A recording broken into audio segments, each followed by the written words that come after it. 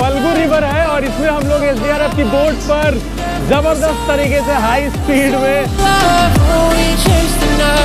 तो यहाँ से आप देख सकते हैं रबर डैम काफ़ी ज़्यादा खूबसूरत है। बिहार सरकार के आदेशानुसार यहाँ पर हम लोग सपूर्त है। रात हो चुकी है और अभी जा रहे हैं हम लोग रबर डैम नाइट का व्यू देखने के लिए। यहाँ से आप देख सकते हैं व्यू। नाइट का कैसा लग रहा है?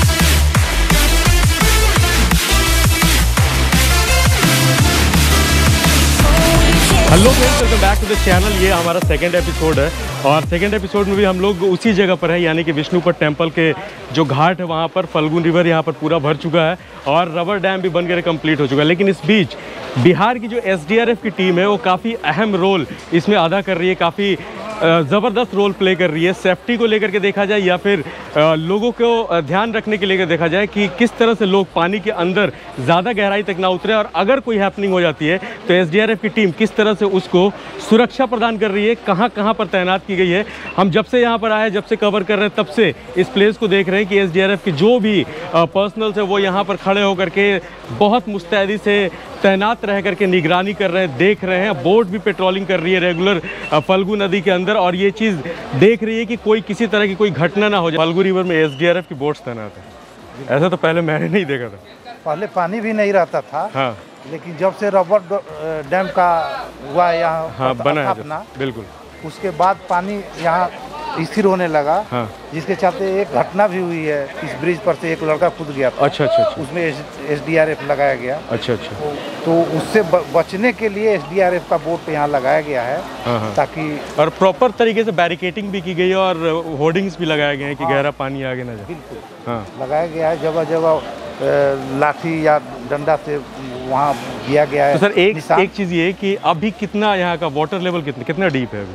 वाटर लेवल घट बढ़ रहा है। अच्छा। पानी यदि छोड़ दिया जाता है हाँ। तो कम हो जाता है। अच्छा अच्छा। लेकिन जैसे ही वहाँ बंद कर दिया जाता है हाँ। तो वाटर लेवल बढ़ जाता है। अच्छा अच्छा अच्छा। तो यहाँ बीच में जहाँ बोट है आप हाँ, देख रहे हैं हाँ। वहाँ तो 10 फीट भी पानी हो सकता है। दस फीट पानी? पानी हो सकता फल्गु रिवर में जहाँ पे एक से हाँ। डेढ़ फीट पानी रहा करता था हाँ, वहाँ दस वहाँ पे दस फीट पानी है। हाँ। यहाँ किनारे साइड में हाँ। पाँच फीट वहाँ बैरिकेटिंग के उस साइड पाँच फीट के लगभग अच्छा, अच्छा, अच्छा। अभी है हाँ लेकिन पानी जैसे ही खोल दिया जाएगा हाँ। तो कम भी हो जाएगा कम भी हो जाए बिल्कुल तो कुछ इस तरह के हालात अभी यहाँ के बने हुए हैं। विष्णुपट टेंपल का जो घाट है वहाँ पर सर लोग तैनात हैं यहाँ पे सर बहुत अच्छा लगता लगा आम जनता के लिए हम लोग तैनात है यहीं केवल तैनात नहीं है और जगह प्रेतशिला हाँ। और जगह जहाँ जहाँ सरोवर है। हाँ। वहाँ बोट लगा किसी भी तरह का कोई भी ऐसा हैपनिंग हाँ। हो। उसके लिए एस प्रॉपर तरीके से हर जगह तैनात की है तो अभी हम लोग जा रहे हैं with the permission of S हम लोग जा रहे हैं बोट पर और बोट से ये पूरा जगह का मुआयना करेंगे देखेंगे। तो चलिए फिर अभी यहाँ से निकल रहे सीधे बोट के ऊपर। ये देख सकते हैं S D R F Bihar. और ये बोट हमारे लिए यहाँ पर लगाई गई है।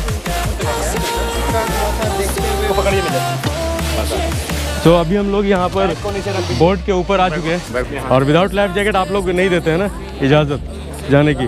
बिल्कुल।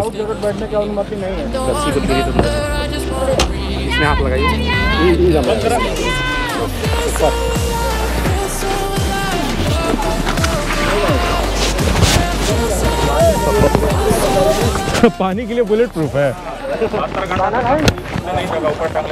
बहत्तर घंटे तक। क्या बात है हल्का पानी ये पूरा ये पूरा कंप्लीट हो गया टाइट हो गया। ओके बैठ जाए।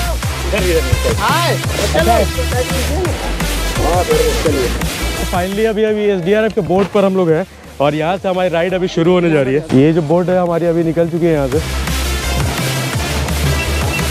और यहाँ सर भी हमारे साथ ही चल रहे हैं अभी।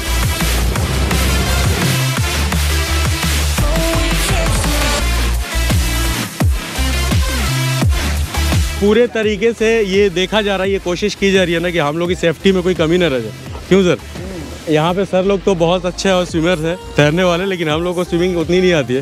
बट फिर भी ठीक है। लाइफ जैकेट है। सही है। उम्र नहीं रहने के बाद में इसीलिए लाइफ जैकेट पहना जा पहनाया जाता है सही बात है, सही कोई तरह का कोई आदमी डूबे ना। अच्छा एक चीज़ बताइए सर कि किस तरह से आप लोग तैनात तैनात थे यहाँ पे किस तरह से काम कर रहे थे? यहाँ पर जो पितर प- प- पितृपक्ष मेला मेला है इसमें मेला में यहाँ पर मुख्यमंत्री आए हुए थे उन्हीं को रीजन में वहीं से बिहार सरकार के आदेशानुसार यहाँ पर हम लोग सपूर्त है। सपोर्ट हाँ। सपूर्त है। आप लोग तो ग्राउंड ज़ीरो पर थे। लोगों के लिए क्या इंस्ट्रक्शन था कि कोई अगर गिर जाता है तो क्या करना है? उन लोगों सेफली बाहर मतलब बाहर ही रखना हाँ। मेन बात है कि साइड में जाने नहीं देना। साइड में जाने नहीं देना। चाहे तैर कर करके जैसे भी उन लोग को बचाना। है। उनको बचाना है। बस बिल्कुल। बचाना है। और जब बच, बच जाएगा तो हम लोग के लिए बहुत बहुत बड़े होता है। फाइनली अभी हम लोग यहाँ से रबर डैम के नज़दीक जा रहे हैं। और काफ़ी अच्छा लग रहा है यार कि उसे इतना नज़दीक से हम लोग देखेंगे। वैसे ब्रिज के ऊपर से तो सभी लोग देख रहे हैं, लेकिन हम लोग को मौका मिला है। हम लोगों ने परमिशन लिया सर से कि सर हमें थोड़ा सा इजाज़त दे दो यार, कि हम लोग भी थोड़ा सा मूव कर लें, इस पर देख लें कि कैसा लग रहा है आखिर। और फाइनली ये परमिशन मिला और हम लोग यहाँ पर अभी है। तो यहाँ से आप देख सकते हैं रबर डैम काफ़ी ज़्यादा खूबसूरत है। और इसको बनाने के पीछे जो सबसे बड़ा मकसद था, वो मकसद यही था कि फल्गु रिवर में पानी सालों भर रहे हैं। क्योंकि यहाँ पर पानी हुआ ही नहीं करता था और बहुत ही कम टाइम ऐसा होता था जब यहाँ पर पानी देखने को मिलता था, खास करके बरसात के टाइम पे। लेकिन अभी क्या है ना कि यहाँ पे हमेशा ही पानी रहेगा तो काफ़ी ज़्यादा अच्छी बात है। श्रद्धालुओं को भी बहुत मदद मिलेगी।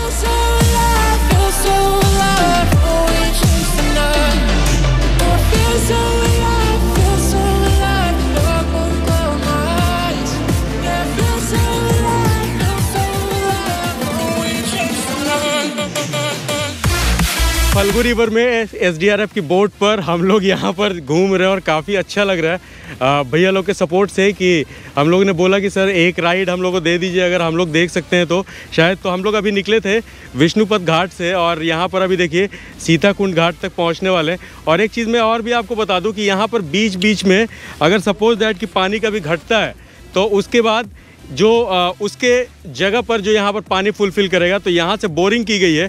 कई जगहों पर बोरिंग किया गया ना सर? हाँ। बोरिंग किया गया जो देखिए वो बोरिंग है। अच्छा वहाँ पे बोरिंग है। हाँ अच्छा अच्छा मतलब उसी से पानी निकलेगा। तो मैं आपको बता रहा था कि देश दुनिया के सभी हिस्से से लोग यहाँ पर फल्गु रिवर पहुँचते हैं और अपने पितरों का पिंडदान करते हैं। तो उनको भी यही एक्सपेक्टेशन होता है कि वो अपने पितरों के पिंडदान में उनको फल्गु रिवर में पानी मिले और पानी मिलने के साथ ही साथ वो यहाँ पर अपने पितरों का पिंडदान सही तरीके से कर पाएँ। ताकि अगर पिंडदान के वक्त में पानी नहीं रहेगा तो फिर वो स्नान नहीं करेंगे तो सही से कुछ हो नहीं पाएगा। लेकिन अभी क्या है ना, फल्गु रिवर में पानी होने की वजह से काफ़ी मज़ा आ रहा है।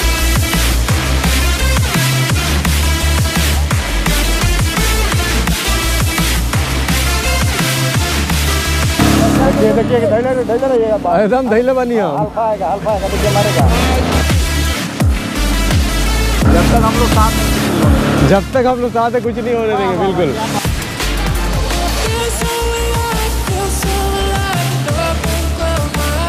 फल्गु रिवर है और इसमें हम लोग एसडीआरएफ की बोट पर ज़बरदस्त तरीके से हाई स्पीड में यहाँ पर भैया लोग के साथ हम लोग इस नदी में यहाँ पर घूम रहे हैं और काफ़ी इंजॉय कर रहे हैं। ये पॉसिबल ही नहीं था यार कि फल्गु रिवर में भी इतना पानी देखने को मिलेगा कि एसडीआरएफ की बोट तैनात हो जाएगी। तो अल्टीमेट वाली वाइब यार अल्टीमेट वाली फीलिंग है, इसको बयान नहीं किया जा सकता है। हम लोग आ चुके हैं किनारे पे और काफ़ी अच्छा लगा यार सीरियसली फल्गु रिवर में ऐसे पानी में घूमना और इस चीज़ को फील करना बहुत ही ज़बरदस्त है। और यहाँ पर देखिए दीदी जो है ना नहाने भी लगी हैं। यहाँ पे दीदी नहाने लगी हैं और इस तरह से स्नान हो रहा है अभी।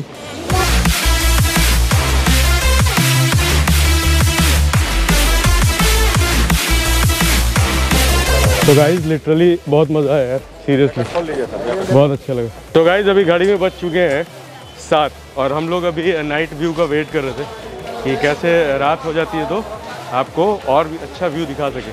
तो इसलिए हम लोग रुके रह गए हमें पटना लौटे नहीं। तो अभी रात हो चुकी है। और अभी जा रहे हैं हम लोग रबर डैम, नाइट के व्यू देखने के लिए। देखते हैं कि कैसा होता है.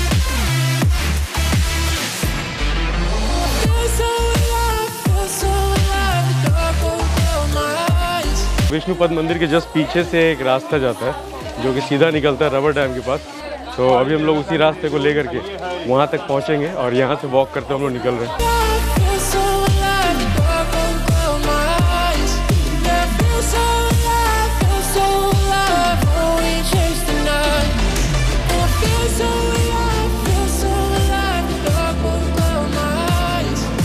तो अभी पहुँच चुके हैं विष्णुपद घाट पे और यहाँ से आप देख सकते हैं व्यू।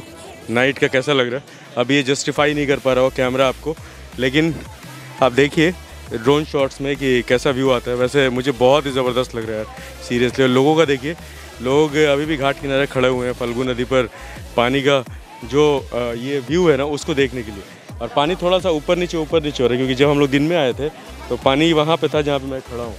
और अभी थोड़ा सा दो स्टेप नीचे जा चुका है इसमें क्या है कि रेगुलर पानी छोड़ा जा रहा है और जब पानी कम होता है तो फिर से उसको मैनेज करने के लिए इसको रोक दिया जाता है तो अभी आप इंजॉय करिए ड्रोन शॉट नाइट का कि कैसा लगता है Sometimes disaster, sometimes free. Oh, you take the long way to stay close to me. I don't wanna know